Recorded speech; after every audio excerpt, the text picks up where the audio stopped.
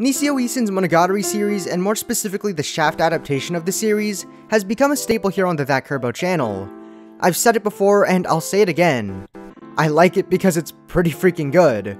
It's funny, compelling, dramatic at times, and immersive all in one long ass package that's beautifully written and presented in such a unique way that you can recognize it from just a colored screen and some text. It's still getting written material too. The translated final season box set is now available for purchase, and goddamn, that's a lot of money. I don't know if I could afford that. No, I can't. I spent it all on Guilty Gear Strive. Hype game. Every part just radiates the creative excellence of the series to varying degrees. Varying degrees like Tsuki Monogatari, sorry Yotsugi, love you, but also varying degrees like Kizu Monogatari, which upon rewatch, has easily become one of my favorite animated parts in the main seasons of Monogatari. I wouldn't go as far as to say it's the best, but it is nothing short of stunning. The story itself is epic, fast-paced, and almost not Monogatari at parts. The visuals are striking with clean and sharp characters, with fantastically fluid animation and an environment design that's much more focused on material realism, and a 3D 2D blend than the rest of the series.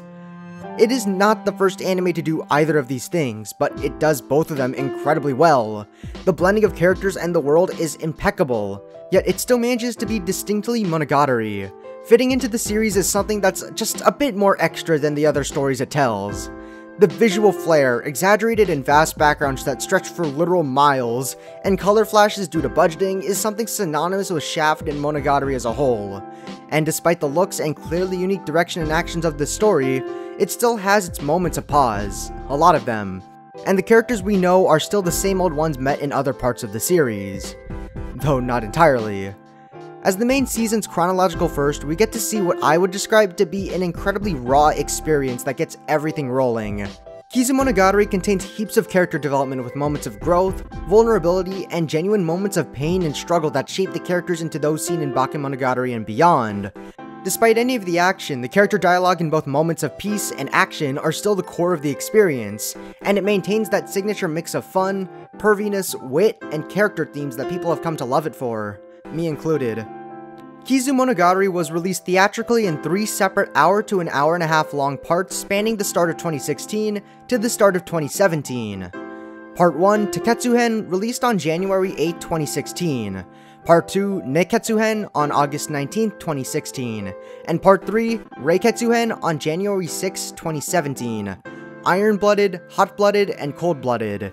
The names were suggested by Nisio Isin himself and come directly from the line in Kizumonogatari, in which Kiss Shot first introduces herself as the iron-blooded, hot-blooded, yet cold-blooded vampire. Despite being adapted from the second novel in the series, the first movie released after the first season of Owari Monogatari, which came out in October 2015, and the Koyomi Monogatari app launched and started airing episodes on January 10, 2016, just two days after Tekketsuhen started premiering in Japanese theaters. Kizu Monogatari had been in progress for a while, so the parts that were released around it didn't influence its style. The more visually abstract settings and flashes that can only be assumed to evolve with the budget from Owari are nowhere to be found in Kizu. Despite being more photorealistic and stranger in places, Kizumonogatari's backgrounds are ultimately pretty simple distortions and exaggerations of what's already out there in the world. There's nothing overly abstract like a classroom in a color-shifting void adorned with white panes throughout, or a wall of metronomes that slowly start to synchronize as a conversation goes on. And a majority of the scene flashes aren't as out there as later Monogataris. They're mostly just a centered subject on a colored background, maybe some text elsewhere, just with a more cinematic look this time. In part, that can be assumed to be the case because of the themes also evolving to be more abstract, but without much word of the process from Shaft themselves, I can hypothesize it to be, in other part, a remainder of the direction from when the project first started all the way back in 2011. The fancy lighting and more high-definition 3D stuff probably came as the Monogatari budget evolved too. Most of this is only my assumption, but I can back it up with some archaic evidence, baby! In this very brief teaser from 2011, the art style still resembles the Kizu Monogatari we got, meaning that the unique look was planned from the start. But the shading is much more traditional and the color palette in some of the shots bears more resemblance to that of Bake Monogatari.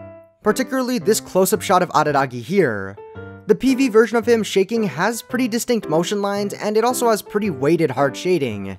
It's not heavy enough to be considered heavy, but it is significant enough to be seen and pointed out. Compare that to the more focused and final version of the same shot. It's pretty brief, but there are no motion lines and zero shading besides a gradient coming from the left. Kizumonogatari in general doesn't rely on hard shading as heavily as the rest of the series.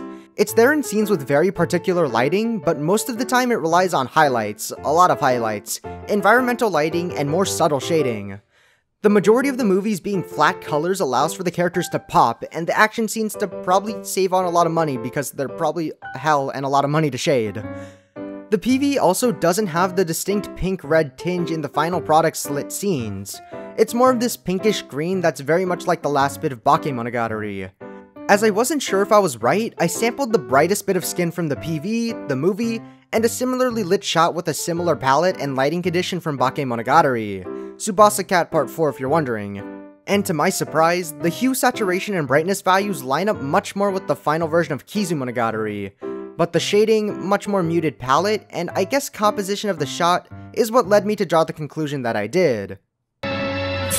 Oh dude, keep it to yourself, it's all over the damn place. Ugh. Clearly, a lot changed between 2011 and 2016. Big time gap when it was initially slated for early 2012. The biggest disappointment is probably that Araragi's head doesn't blow up, not in Tekketsu at least. The weird release schedule caused easily the biggest gap between the animated release order and the novel release order. While I now lean towards speaking less like an authority and implore that you do as you please when it comes to consuming the series, it is heavily recommended by the community to watch according to novel order for the best experience. If you choose to watch by airing order, the rift in order that Kizumonogatari's release creates hurts the understanding of major moments in the series immensely, Speaking from personal experience, the amount of times the events of Spring Break, aka Kizumonogatari, were referenced with no understanding of those events caused confusion.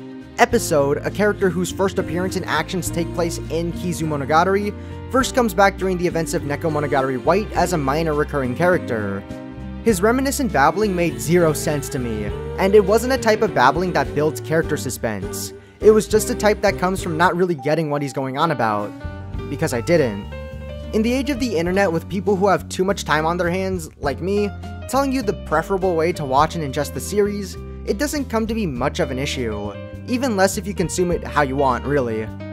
One thing to note is that because of licensing, for my American viewers at least, the only way to watch Kizumonogatari legally is through Amazon Video. However, I think I know you guys and you know me well enough to know that didn't stop either of us. I just wanted to cover my bases before going in depth with the contents of the trilogy. I'll be referencing and comparing parts of the movies to the novel, since I own it, but not to the manga, since I don't own it. I'll be talking for a while, kind of rambling me, picking up on the individual ideas while following the sequence of events of the movie. Feel free to put the video on in the background or something. That'll help me not put as much effort into editing this marathon, so let's get to it. The first movie opens up with scene cards. The dates March 26 and April 7. Vampire, tragedy, and histoire. While the dates are simply a time frame for the events of the story, those three words, vampire, tragedy, and story, are part of a series of cards spread throughout this opening scene that create a tone of anticipation for the rest of the movie. A giant naked tree pans down as an elevator rings out and out comes the man Koyomi Araragi, in a fierce panic. Uncertain, anxious, and on edge, as seen by the rapidly switching shots and very close-up camera work, he makes his way up a seemingly endless stairwell and reaches a door. I promise not to nerd out over every piece of design past this first scene, but I think it's brilliantly done here. The endless stairs furthermore illustrate the feelings of intensity and uncertainty for Araragi. It's a sensation of fuck, when is it gonna end with no progression in sight.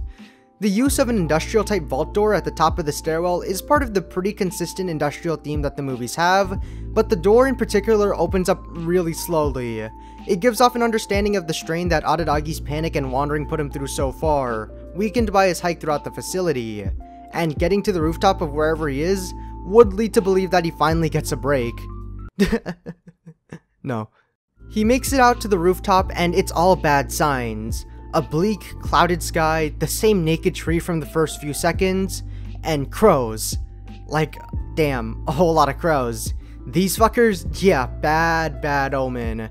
It's pretty common in media for crows to represent that some bad shit's about to happen. Their pack name is called a murder for Christ's sake, no bueno. The crows look on as Araragi walks out, but come alert as the sun starts to shine. A slow to fast shot of Araragi starting to catch fire comes to reveal that this man is not okay. In fact, I'd say that he's not even doing that good. An absolutely fantastic illustration of pain with every aspect that can be done, being done amazingly while being almost completely nonverbal. The character animation is frantic, tearing yet smooth as he dances around in burning agony. Far distance shots create a sense of noise, and how loud Araragi is crying out and yelling. The shaky or blurry shots once again create uncertainty, but this time with a pinch of fearing for dear life and the noise knows when to cut out so the viewer can simply watch a burning shell of a man meteor from the top of a tall building and lay there to become ash. Cette histoire de vampire finira mal. Elle finira quand tout le monde sera malheureux. I haven't taken French in a bit, so I'm a bit rusty, but that means this story of a vampire will end badly. It will end when everyone is unhappy. What this exactly means given the present context is unknown, and it doesn't come to be fully processed until, quite literally, the end of the story. But from the looks of things, it would create the expectation of glorious death by the end of it all, which is in part a bit of a false expectation. I may be reaching a bit, but I personally think it makes sense. The text is ripped, translated, and paraphrased directly from the prologue of the novel, much like the other cards in the series but the insertion of this scene that's from just a slight bit further along was an anime exclusive creative decision. It creates a hook that serves the same purpose as the prologue, but with more physical elements to create an air of anticipation for this scene and what transpires before and after the fact. Functionally and in execution, it serves a similar purpose to the Kizu Monogatari recap scene in the first episode of Bake Monogatari, which starts the same as the novel and the scene after this, Hanekawa oh, panty oh, oh, shot. Hold the fuck up. If you want to talk about a hook, can't beat some good old Hanekawa. I could make the obvious, kinda tired joke about how this is the best possible plot hook, but in reality it's probably just what Nisio Isin wanted to see at the time. Perfect enough, the scene functions as both a litmus test for what people's tolerances are, and also as a point of comparison for the narrative similarities and differences in Kizu Monogatari and the rest of Monogatari. I covered in my April Fool's video how is Koyomi Araragi so popular, the topic of an unreliable narrator, but didn't go in depth about how it affected the story besides what's called the main character bias. The way that Araragi tells the story is incomplete, exaggerated, and only his perspective, and he's pretty adamant about that last fact. Page 1, or 9 I guess? Ultimately, I can only observe the incident from my own perspective, so I will never be able to know what that chain of events truly meant to anyone else, or what it didn't mean. Asking them may allow me to come to some degree of understanding of the circumstances, but even then, there's no way for me to know if their words are true. It's an acknowledgement that this version of the story is not the whole truth, and that there are other sides to be told. As his own version though, it's what he knows. Shaft is able to get extra mileage out of the different angles of each Monogatari in several ways, and for Kizu, it's sex! The flip of the skirt by a sudden gust of wind is said to only have lasted for maybe a second, but it's described by Araragi to have seemed like hours. Bake Monogatari, while still not objective in its narration, more realistically depicts the event in slow motion with a timer correlating to the real passage of time, while Kizu goes full bananas. Massive gust of wind, skirt literally inverted as the wind carries on for seconds upon seconds. Light shines into Araragi's eyes since the sight was so dazzling. Both achieve the same purpose unless long enough to make the detailing start to put Araragi's narrative sanity and attention to detail into question, but man, they could not be any more different. Seemingly embarrassed yet unaffected by the event, Tsubasa Hanekawa brushes herself off and makes humor out of the situation in the form of a computer safety PSA. If I was bigger, this is the point where I'd transition to a VPN sponsorship or something, but I'm not, so no VPN. It's a cute gesture, but Araragi shrugs it off and leaves to do his own thing. But his attempt to leave is put to an end quickly and his attention is caught by the fact that Hanekawa knows his name, down to the characters used.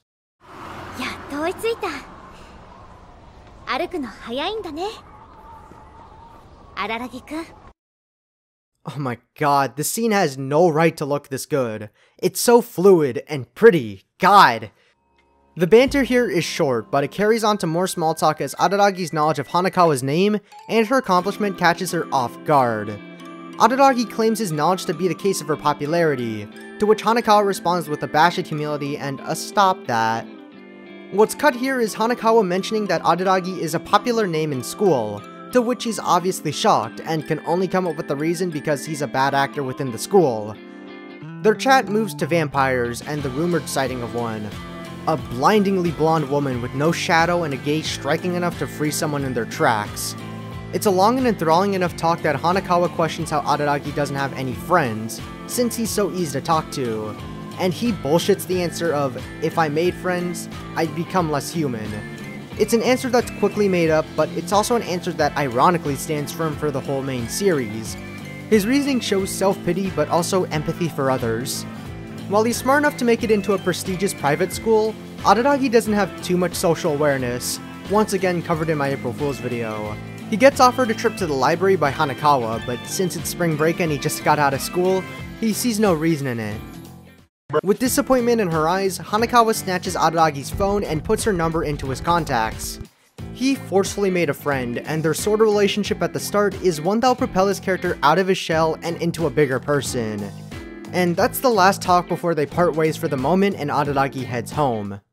Once at home, he sits stationary in his room, hung up on the encounter he had. It eventually overwhelms him and he rushes over to the bookstore. For what? Porn. Porn featuring schoolgirls with black hair and braids. Even if you find Araragi's actions and thoughts odd, it's so comically executed you can't really help but chuckle. The audio cues and visuals were hilarious. Why is he a seal? I, I, don't know, but being a part of the flashes as he runs to buy an Arrow magazine just came off as unreasonably funny. The comedy is cut short by all the streetlights cutting out, all except for one, illuminating the entrance to a subway lined with a long streak of blood. Araragi goes to investigate, and after his lengthy investigation, he finds her. A gaze as cold as ice, blonde hair with intensity matching the sun, and no shadow to be seen. Kiss shot Acerola Orion heart under blade, a vampire whose presence leaves Araragi at a standstill. This scene here is just wonderful.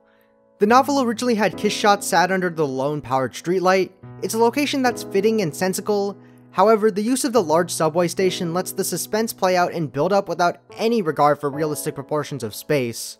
One odd thing is the question of how Kiss Shot's body wound up there, which is actually a piece of conversation that'll show up later. Quite a bit later. I think the deviation from the originally described location is a valid complaint and I even share the stance, but I also think it plays into the visual storytelling great. We get to see Araragi get visibly more tense and worried as he continues to follow the trail of blood that seemingly goes on forever, and once he reaches the source, we can see that tenseness get mixed up with fear as he shambles towards Kiss Shot's dismembered body. His movement is incredibly shaky, he's hyperventilating, his hands are quivering as he struggles to properly input the characters for an ambulance. The fear starts out as fear for Kiss Shot's life, but her demand for his blood and the realization that she's a monster transforms the fear into that for Araragi's own life. The rapid switching of the shots and the artificial blur and shake, the shot where he envisions running away but is bound by her gaze to the position he's standing at with the rising orchestration is fear incarnate. He manages to make his escape, but the powerful vampire kiss shot bursts into tears. Bloody tears, water tears, and her cries like that of a baby's echo throughout the location until they inevitably stop. Araragi returns to the spot, but not before some reflection. Reflection I think was mostly omitted from the movie. He gives a little pep talk for her and has a few self-pitying parting words. But even though he doesn't want to go through with getting his blood sucked dry, it's described that he only did it because he sees his value in life as significantly less than hers. He sees himself as someone who has yet to achieve anything great, with no one to really care about him if he dies, to add salt to the wound, he can only conjure up the image of four people who would even notice that he'd gone missing, that being his family. It's a stance that's unfortunately very realistic. Araragi is able to transform it into something seemingly noble here by sacrificing his meaningless life for a life he sees as worth more. But it's the actions he takes in the same vein that leads to problems further on, and it's the mentality of others before himself that we get to see change also further along seeing him start to show care and help himself. And hey, it's the thumbnail shot. It's a very pretty frame. The whole subway is very pretty, don't you think? It was not a dream. Araragi wakes up in the ruined cram school, except here, it's more of a pristine college of sorts. If there is one thing that Araragi's feeling, it's confusion. His thought process trying to cope, not see, just cope with, and rationalize the circumstances that led to two whole days passing under his nose is what led to him bursting into flames at the start of the movie. He learned to stop, drop, and roll and attempted to utilize it, but it didn't work. The one time in his life he needed it and it did fuck all, I'd be pissed, but I'd also be on fire. This fragmentation and displacement of the sequence of events, in my opinion, fits the pacing of the story and how they're played out. Like I said when I talked about the first scene, Isolating the middle and putting it dead at the start creates anticipation for the circumstances around the scene as a high intensity hook with zero actual context. I also believe that if it was to be one continuous scene, there would be less punch to a weakened kiss shot coming out and saving Araragi, given that there's already a big punch in the form of Araragi combusting into flames and all. So to separate the two lets both result in a goddamn reaction or something along those lines. The newly recovered but weaker Kiss Shot takes her time explaining the current whatabouts, whereabouts, howabouts, whenabouts, the whole nine yards. This is about as monogatari as it gets, a combination of exposition and charming character dialogue with perpetually shifting backdrops that manages to stay enthralling despite it, you know, just being talking. Both Maya Sakamoto and Hiroshi Kamiya are fantastic voice actors, and the same can be said for the whole cast. It's their work that brings out the character in the dialogue and makes watching so engaging. This is a much cuter and funnier scene than the one that preceded it, and the kind of casual human aspect of their master-servant relationship will be one that develops more as the story continues forward. Araragi is tasked with collecting the missing parts of the broken kiss shot, in exchange for being turned back into a human. It's the offer he can't refuse, yet takes half reluctantly, but it comes with being aware of the challengers he needs to take on for his side of the bargain to be fulfilled. Dramaturgy, Episode, and Guillotine Cutter. Those are the names of the people Araragi must fight for his humanity, and he better damn well remember it, because they could have easily been the last people he saw. Imagine if that did happen, in stark contrast to his sacrifice to Kiss Shot, would have died on others' terms, and the last thing he sees are those who are quite literally putting him down like a rabid dog. This is another area we can compare to both Bakemonogatari and the novel. It is originally depicted as a residential area, but here it's much more industry. Even if it does deviate from the source material substantially, it doesn't matter too much here. Kiss Shot told Araragi to walk down a street, it doesn't have to be a residential area. It's not as big of a difference as the subway scene, and it even adds a sense of epic to his inevitable ass beating. He tries to appeal to emotion by shouting out to his fellow humans in chat, but what Araragi learns over the course of his quest is that the only person with a sliver of humanity amongst the four is him, so the words are meaningless in the end. He cowers in shock as his last and only option before a savior drops from the sky and puts an end to the commotion. Anta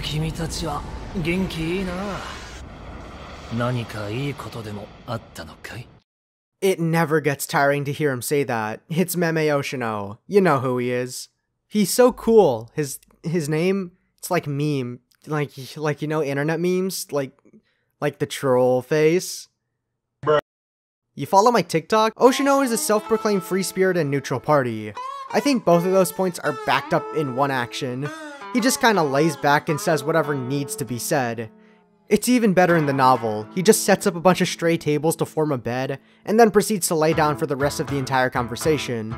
It doesn't happen here since the abandoned classroom is interpreted as a lecture hall with static desks, but his posture is still enough to get his lax attitude across. I'd call him a chronic smoker too, but as you know at this point, he doesn't ever light the damn thing. It's explained later in the novel that he doesn't do it because it'd be hard to animate, just one of the multiple fourth wall breaks that Monogatari's got. Kizu especially has quite a few.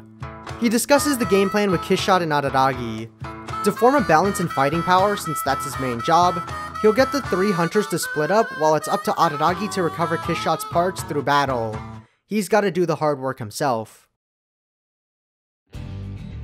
And that wraps up Tekketsuhen, the first of the three Kizu Monogatari movies. The cliffhanger it's left on certainly got me hyped up for the fights to come, especially considering how Araragi took to the 3v1 the first time around. Surely a collection of 1v1 fights will serve him better. There was certainly some stuff missing from the novels, yeah, extended dialogues and Araragi's internal monologues, but it ultimately still gets the main point across and sets things up just the same. A light novel doesn't have the restrictions in terms of keeping flow as a movie does, so while the details left out add more character, the impressions left overall are about the same. Tekketsu is just pure introduction, so I couldn't do too much analysis, just kind of say, hey, this will happen, and admire the views while attempting to give insight on why I think they look good. For just a collection of story setup scenes, they're paced surprisingly well. About 4 or 5 events spread across 1 hour including credits. It adapted about 100 pages, and it ended at the start of chapter 7. That's where Nekketsu picks up from. Dramaturgy the first of the vampire hunters that Araragi has to take on in order to restore Kiss Shot and return to being a human. For a first battle, it looks pretty grim all things considered. The guy's a full vampire, he's 7 foot and incredibly fucking jacked, and it's raining. It's gonna get his fit soaked. Nobody wants that, right? It's a dog eat dog world out there, and vampires killing each other is just the natural order of things, as Kiss Shot describes the cycle similar to every other species that kills each other and others for survival. Love nature. Araragi had to prepare for the battle, as he's not been the type of guy to have been in fights before, and he turns to none other than vampire fighting for dummies, including techniques such as keeping your man up while he breakdances and how to deal with a friend that's on a different field of gravity. In comes Hanekawa on a random spur of the moment really late at night walk. Perfect timing. Her presence seems to have caused Araragi's brain to lag a bit. I think her boobs might act as a signal blocker for brainwaves or something. Araragi might have the 5G or something.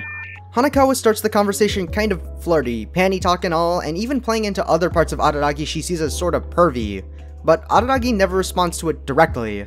He's both too embarrassed to admit that he snuck a peek and more concerned with the fight that he's about to have with a very tall and very muscular vampire. But their small talk continues on as Hanekawa insists that they keep chatting. Her quick-wittedness and versatile book smart shocks and even flusters Araragi just a little bit. Uh, お前は何でも知ってるな。何でもは知らないわよ。知ってることだけ。It's really hard to put into words how much I love this quote. It really represents Hanekawa's character, and on its own, it's discreet enough and disconnected from any direct anime references that I'll probably be using it as my yearbook quote. I'll post proof in a year if I do, just, just watch. There are actually a lot of quotes in the series that can be considered discreet enough to be used as a normal yearbook quote, but that's besides the point. Hanekawa's astuteness and ability to banter easily with Araragi becomes a concern to him, it's getting late and the battle is soon. He's also concerned about Hanekawa being at the wrong place at the wrong time and getting wrangled up in the whole debacle. The way he attempts to dissuade her from staying around is incredibly crude, impulsive, and not the smartest play he could have gone with. Hanekawa's optimistic reply was something that he did not want to hear, getting visibly angry at the response. It makes sense, honestly. Hanekawa was showing great interest and optimism towards something that has only caused Araragi pain so far. Her view of the things are far too unrealistic right after she outright denies the existence of them. Creatures of the night who suck blood and kill each other like animals, of course, just have a little chat. Ethics, morality probably don't exist for them, it's just nature. Distinct nature from that of humans. I can assume it's that blissful ignorance that pushes Araragi straight over the edge. He goes personal. ごめん何か気に障ることを言っちゃったみたいだねいやお前が気に障るムカつくんだよお前鼻につく It's a show of negative character, and it's a harsh way to start a recess back into the antisocial shell he started out in. That was really hard to say, god. He keeps pushing her away from the insistence that they aren't friends, never were. He plays off thoughts he had when he first met her, she's just using him, it's just to look good. A bunch of rushing thoughts in the heat of the moment. The final straw here is Araragi deleting the only contact he had on his phone and telling her to get lost. It's painful, genuinely agonizing for everyone. Araragi is hesitant, but he has to make his point. The viewer can see that, and Hanekawa is clearly affected by the act. It's like the short distance between the two socially had been turned into miles upon miles of distance in an instant, as represented here beautifully. Hanekawa appears to take it in stride, but as she makes her leave, she's overcome with emotions and is barely able to make it away without bursting into tears. She clearly wanted to say something, but couldn't. That's her biggest character weakness, being unable to speak up and stand her ground. It doesn't mean much for Kizumonogatari, but her character arc is built around that core issue. Was it good for Araragi though? Making friends only decreases his strength as a human. He'd have to be concerned for them, he'd have to care for them, and their moments of joy and bliss would only make him envious and angry at those people. That's what we saw here. With the burden of his soul friend gone, he can finally feel full as a human again. He wants to be human again. He felt approval when Oshino addressed him as such, so there's a clear clash in his personality and his physicality, his human mind and his vampire body. By rejecting Hanekawa, he's rejecting his vampirism and fighting himself to keep what he deems to be his humanity. The monologue conflict he deals with in the novel greatly assists in understanding the internal struggle that Araragi went through to protect Hanekawa, but he also reflects on his actions thus far. Does he really want to be human if it means something like that to him? Was the pain in his heart really worth it? Well, whatever his decision on the matter is, he can only go so far in his quest as a human. He needs the strength of a vampire in order to make it through his ordeal in one piece.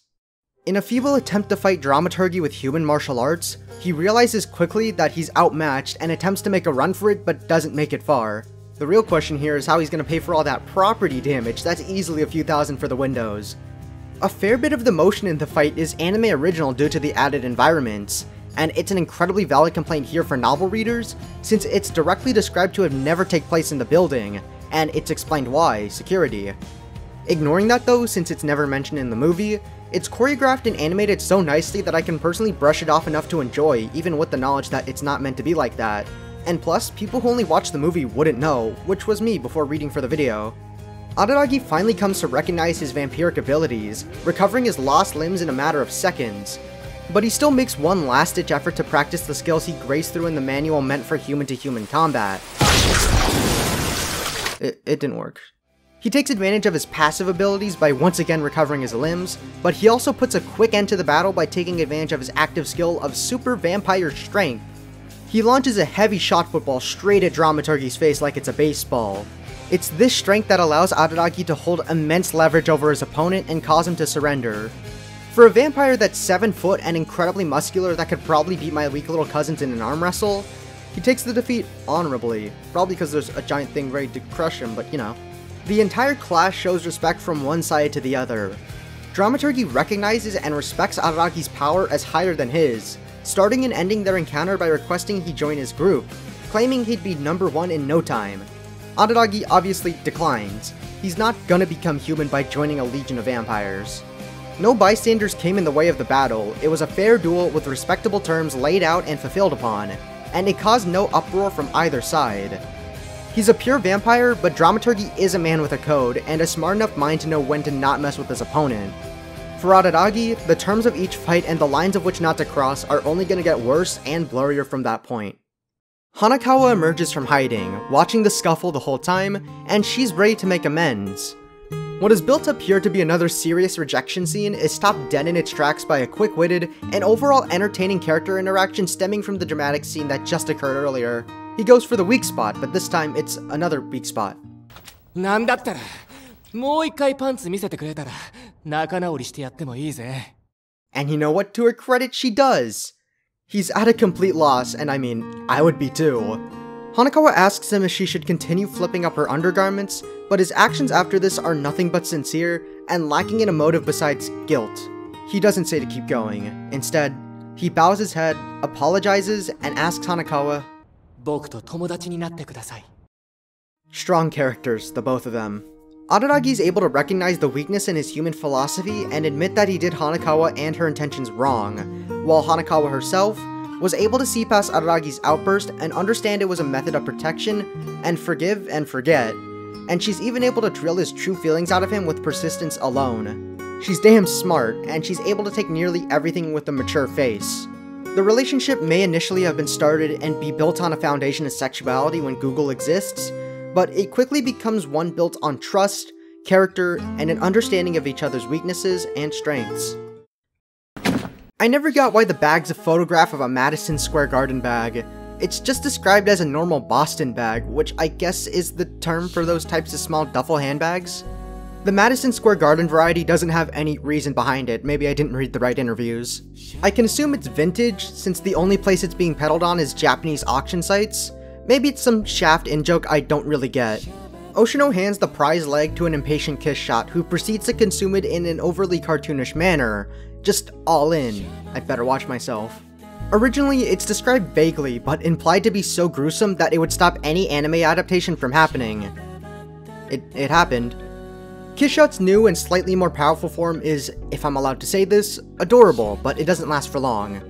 Before and after the reveal, Araragi casts doubt on Kiss Shot's promise to make him human again.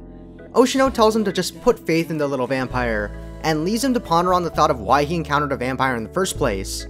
I have a lot to say and hypothesize on the exact reasons, every oddity that appears has a reason, but I think I'll get to that later.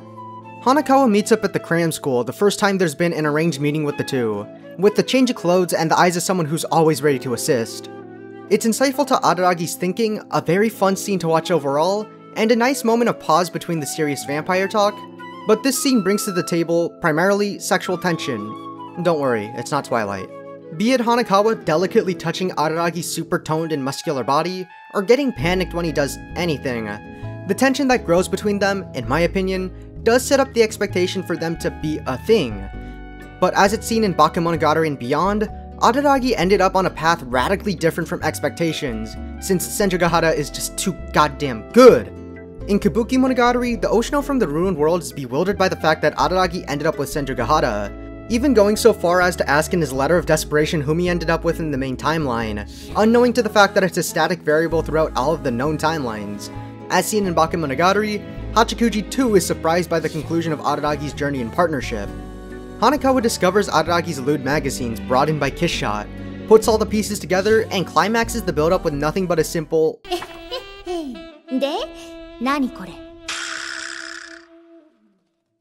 episode a half human, half vampire who hates both parties because he's chastised from both sides for bearing traits of both, but he hates vampires more. From that, I can infer that he might be a little racist. Alright, maybe a bit more than a little bit racist, a lot racist even. Episode's demeanor and method of attacking draw stark contrast between him and Dramaturgy. While Dramaturgy went into duel in an honorable, professional manner, with Araragi throwing things to end the fight, Episode's tactics fueled by bloodlust and vampire racism lead him to flip the tables and to attempt on circling in on an easy kill, chucking his giant cross everywhere while the sound of his menacing yet condescending laugh echoes throughout the battle. Weirdest bit in the scene to me was the light shining on the cross as it was lodged in the ground as Jesus on the cross flashes. I don't think that's what Jesus would do. Being a blood-sucking vampire who buys dirty magazines because they saw a cute girl is pretty un-Christ-like if you ask me. It's one of the more normal uses of Jesus in anime, just as a point of symbolism, but it stuck out pretty heavily to me. Oh look, it's Hanekawa! Yeah! Huh, look, she's dead. She was trying to give advice in order to help Araragi counter Episode's main source of leverage, which is Mist. But as you can see here, she got gored pretty hard in the abdomen by Episode's giant, very, very heavy cross. It was a direct attack, about as intentional as intentional can get. Despite being half human, Episode's inhumanity was able to shine through and cause Araragi to go absolutely ballistic. The rage that Araragi felt seeing Hanekawa's guts get flung out of her body with a torrent of blood stretched beyond what a human could ever follow up with. More specifically, beyond what a human like the friends or weakness Araragi would ever be able to muster. The weakness is just gushing out here. If she felt pain, he'd feel pain. If she died on a spot, he'd kill a man on the spot in a way only a vampire could. As the dust begins to settle, Episode's mist powers get disabled and Araragi goes in for the kill. Stained, brutality, pain, murder. A rush of emotions that would have left a man dead if there wasn't a mediator. Before their match started, Episode stated that he loves bullying the bad guys, and calls Araragi a monster. At the start it makes sense, Araragi's a full vampire and the kin of the most powerful vampire out there. There is a murky, yet clear enough area that defines Araragi as the monster here, and thus, a man that needs to be taken care of. As their battle progresses though, the more and more the lines are drawn, and the more that clear line starts to muddy. Episode put his weapon through a person that wasn't his opponent and laughed it off. But does that justify Araragi attempting to kill him as a quick form of justice and revenge?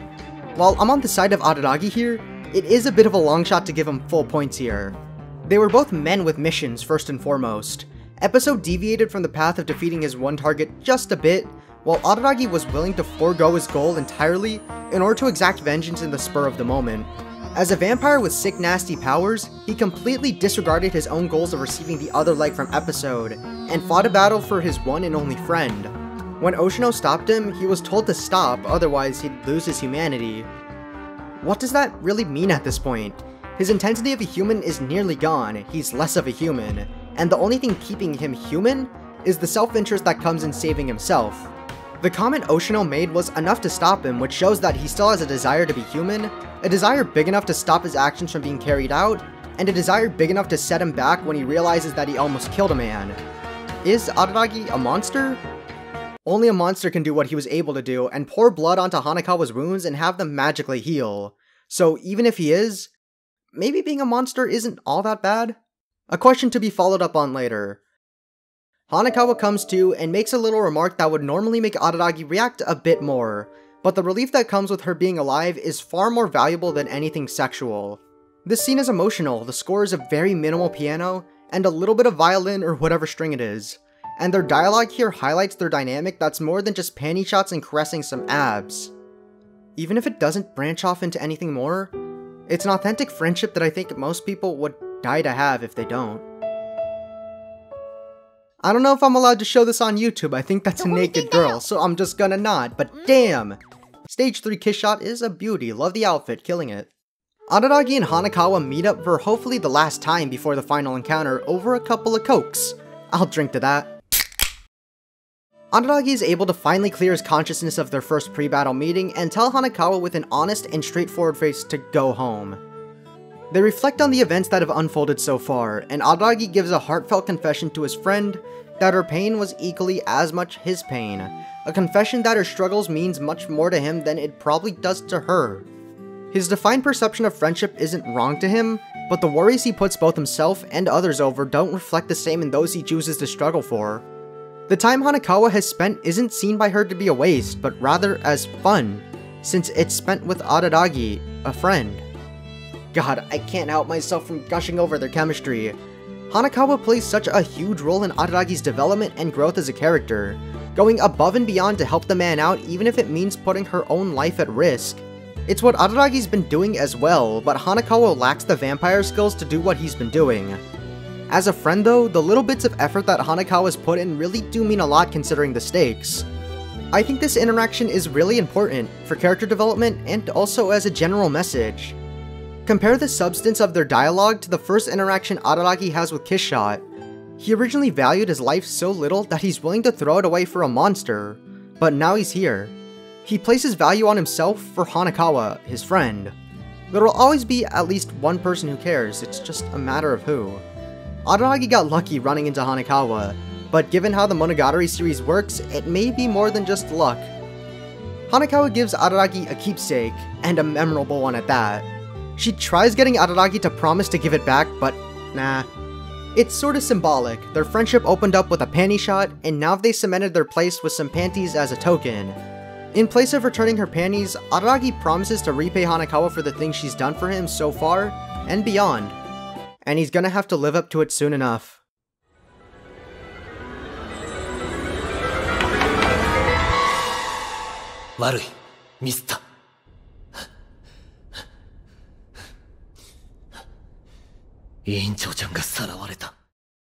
Guillotine Cutter. A man driven by his faith, a faith fueled by the existence of oddities, and it's his destiny to slay. The odds are incredibly stacked up against Araragi here. Hanekawa is a hostage in a situation out of Oshino's mediator control. While he hasn't flung any guts, Guillotine Cutter's usage of Hanekawa on the battlefield is purposeful and infinitely more sinister than the likes of Episode. As far as it's been seen here, it's an inverse line chart of each opponent's humanity and their humanity the only one with no trace of vampirism, the pure-blooded human, using underhanded tactics, violent yet quaint emotional and physical manipulation by forcefully taking a close friend by the neck, in a manner that can only be described as cold and calculated malevolence. Episode called out Araragi as being good to kill because he's a vampire, a monster. But much like his opponents, Araragi is also on an inverse line chart, spotting out that with each bit of humanity he loses as he slowly takes on more with his vampiric powers, the more human he becomes. It's true that his body is that of a vampire, a monster, but his conviction, sense of justice, and willingness to grow is that of a man.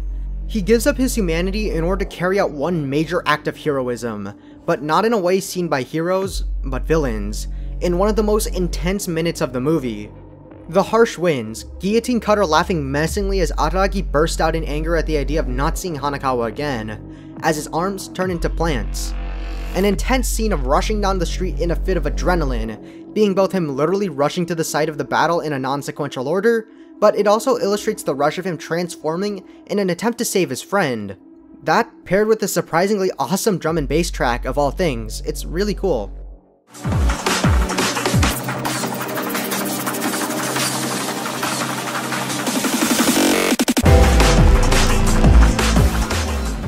He saves Hanekawa and props Guillotine Cutter up on a cross, another one of those helicopter shots to show the scale of Araragi's wreckage.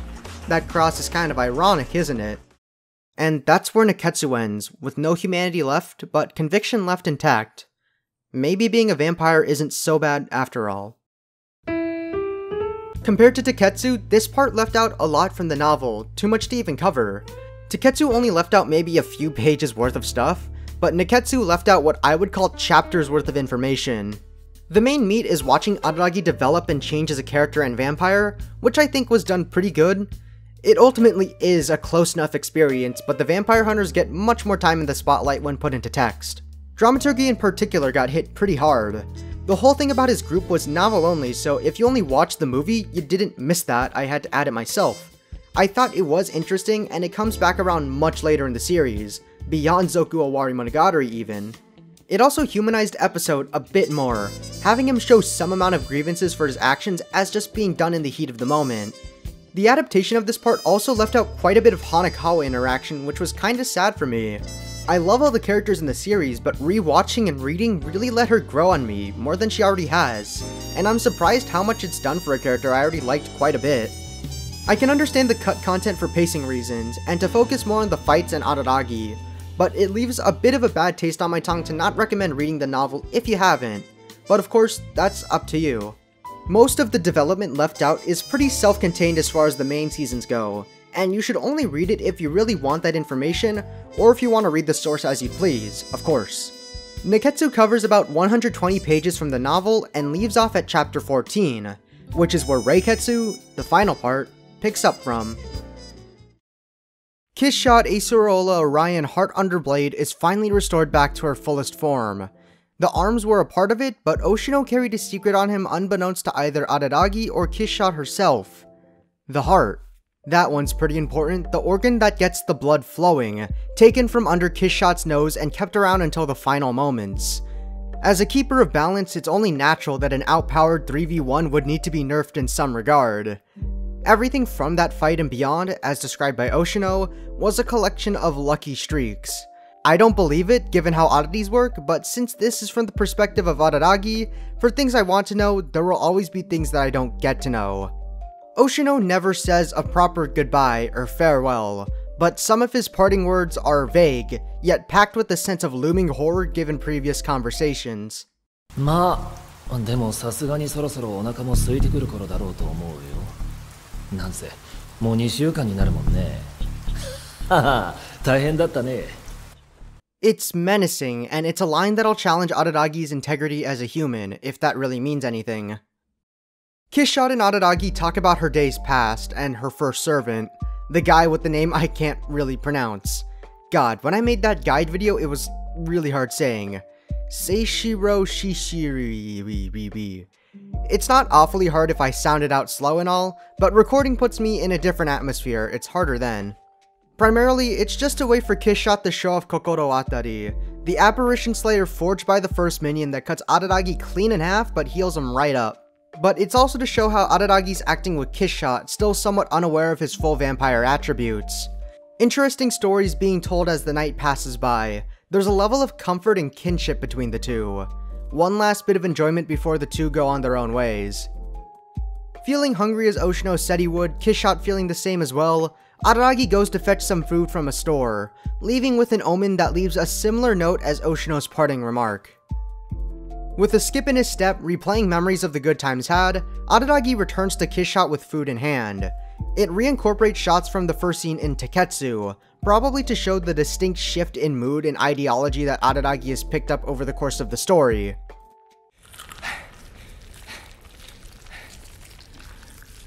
Ah, I see. He made the mistake of getting human food instead of getting human food. Common mistake, everyone does that when they first start out. Guillotine Cutter, a man driven by his faith, devoured in pursuit of his faith-bound destiny. That would make him a martyr, wouldn't it? What a way to go out, and a bold one as well. And like that, any goodwill regarding the presumed morality and ethics of vampires have vanished in a flash. Blinded by unknowing ignorance and a personal bias that subtly developed, Araragi failed to realize that being a vampire is, in fact, very bad and they are a menace to society. What vampirism has meant to him and what it's represented so far is meaningless in the grand scheme. They're monsters. The perspective that he's had as he's been helping Kiss Shot was skewed from the very start, and he comes to realize that the vampire hunters, you see, they hunt for a pretty good reason. Araragi's continued selflessness here has bit him in the ass immensely. He throws himself in a fit of rage, regret, hysteria, even hallucinating one of the most bizarre, bloodlusty scenes in the trilogy after coming to realize what the hell he's done. His only solution? Die.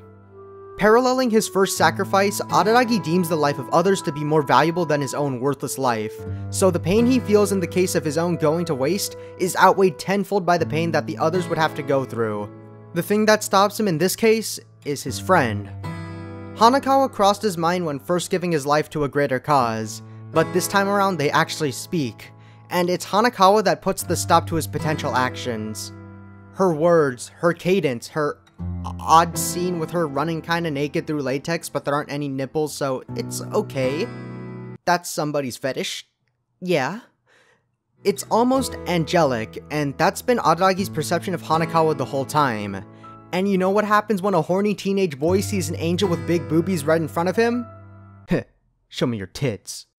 Okay, it's not wholly like that, but the offer is as left field as talking to a close personal friend comes. It's even more left field when she says, yeah, anything to help I guess. Araragi's a dog chasing a voluptuous mail truck and he caught it within 10 seconds after starting. It's such an awkward scene with a whole lot of tension in the air. He keeps teasing and talking, and makes you wonder, will he do it? Will he do it? Will he violate the sexual integrity of his one and only friend? Nah, he won't.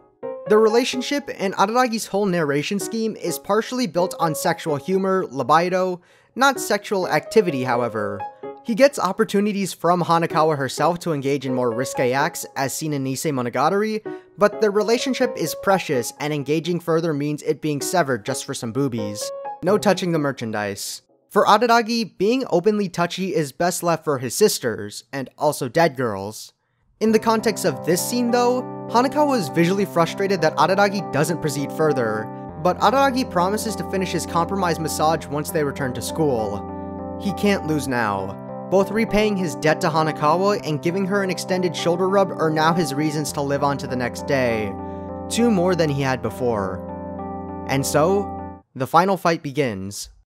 Kiss shot Acerola Orion Heart Under Blade, the iron-blooded, hot-blooded, yet cold-blooded oddity slayer who's lived for 500 years and feasts off the flesh and bone of humans. Araragi's last challenger, his master, a challenger of equal power whom he fights not only for his humanity, but for the sake of humanity as a whole. I'm gonna take the mostly action of the fight scene to finally wrap up my thoughts on what the story kinda meant. The scene itself is gorgeous and animated way better than it ever needed to be. The effects are impeccable. The shot composition and deep orchestral music score gives the fight a dramatic accent. The character animation itself is cleaner than I don't know, something that's clean. Yet the rough sketch appearance in some areas gives the action incredible amounts of oomph. The fight is choreographed to a T, a mix of high octane and even humor on occasion. And the gore is plentiful considering what the stakes of the battle are. Some of this I'm not even sure I can show on video. Not for monetization, I don't care and I don't have it, but it's hard to indicate if Araragi's torso splitting in half due to twist, or him missling through Kiss Shot's chest right into the goods like a blazing torpedo, will be allowed to be even shown here. But I've reviewed both modern Doom games, so it's probably fine. Kizumonogatari has a lot of themes and ideas it delivers, but in the end, it's a very simple main idea that means a lot to Araragi's character. I can dig into it all I want, but I see it first and foremost as a story with characters, not just delivery vehicles for moral ideas.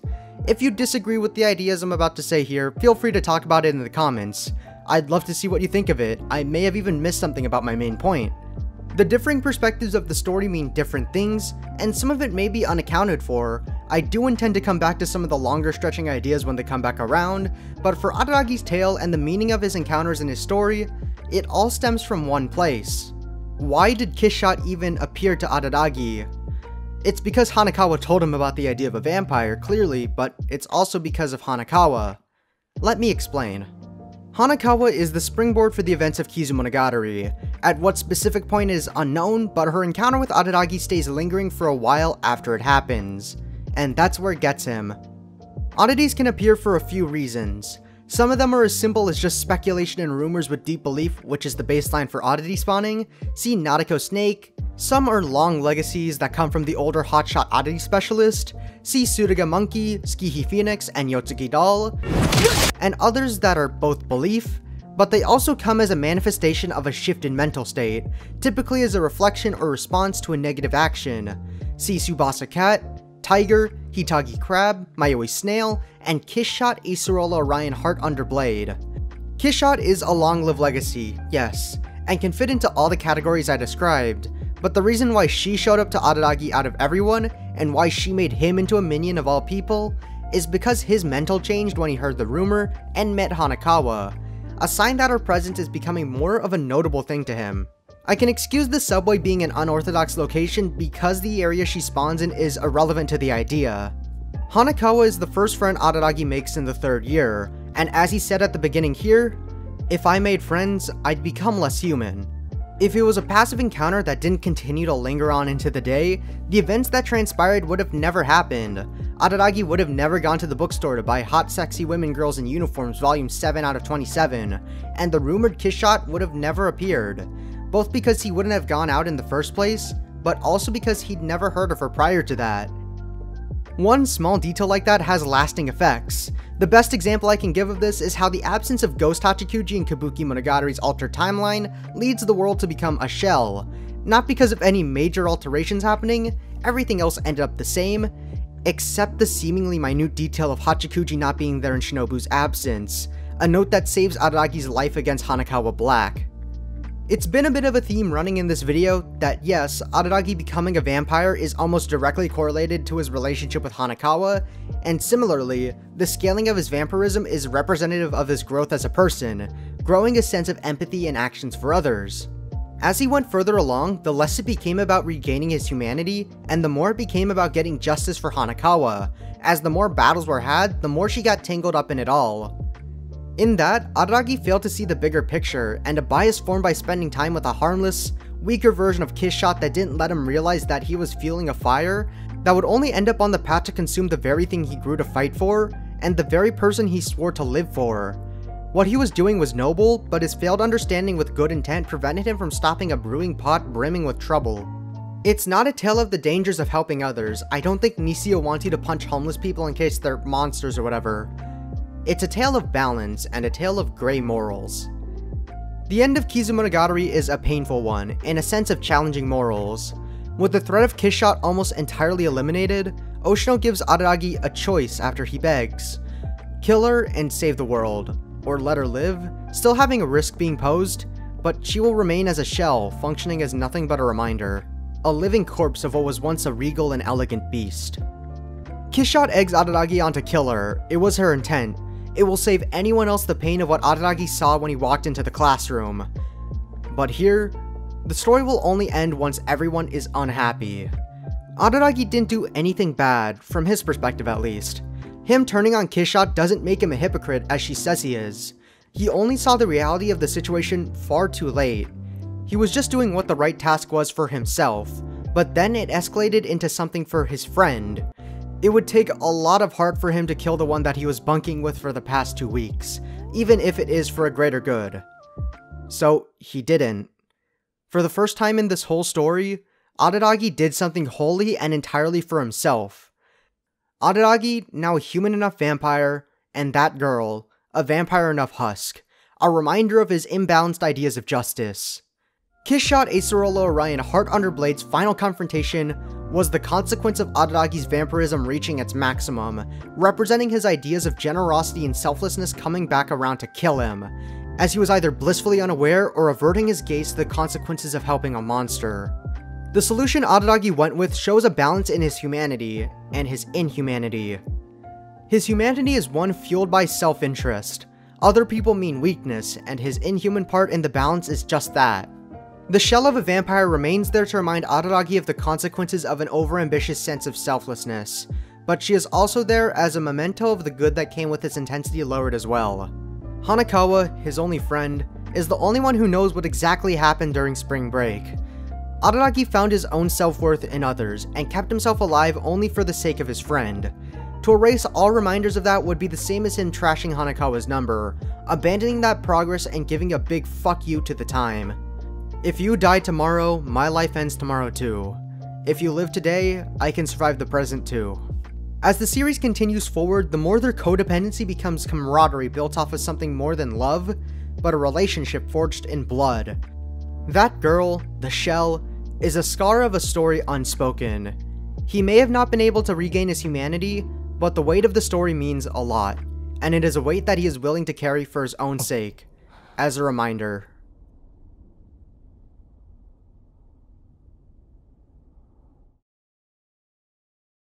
Kizumonogatari is a story about the growth of a man and the scars left from his ideas.